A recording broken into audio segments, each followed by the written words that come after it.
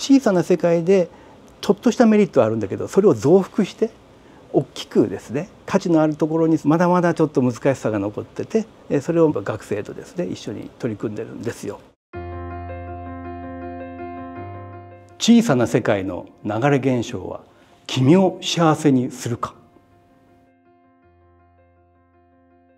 もともと私が流体工学とか電熱工学とか流れとか熱の伝わりを専門としておりましてそれを小さなサイズですね。小さな装置とか小さな機械の中で活用するといった研究を主にやっております。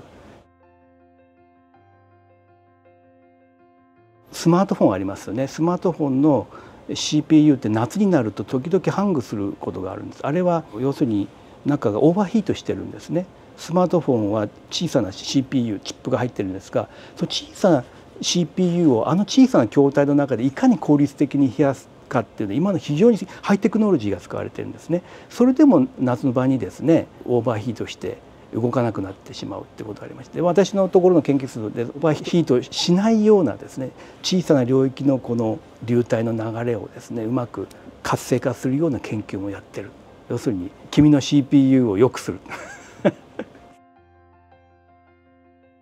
基本的に実験装置は全部自分たちで設計してね自分たちで作ろうということにしてます。で最近は自らあの 3D プリンターもこう購入しましたし自分たちで自分の装置作れるわけですね。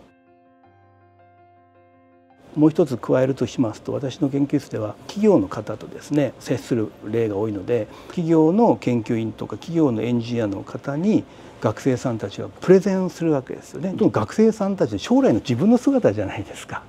でそういうお兄さんのような先輩から直接ですねいろいろ自分の研究のことをこう指摘されるとそれでまたですねあのインスパイアされて成長するんですね。